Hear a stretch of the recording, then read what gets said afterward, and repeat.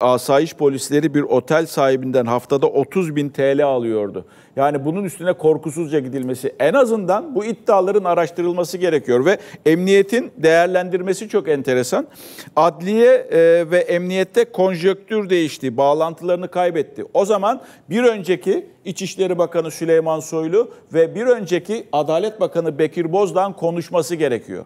Hani öyle operasyon çocukları mocukları falan diyerek değil. Gerçekten konuşmanız gerekiyor. Emniyetin şu tespiti var ya şu değerlendirmesi aslında adliye ve emniyette konjöktür değişti. Vahim bir söz. Vahim bir söz. Bakalım konuşacaklar mı yoksa sessizliğe mi bürülecekler? Ben şimdiden size cevabını vereyim. Sessizliğe bürülecekler.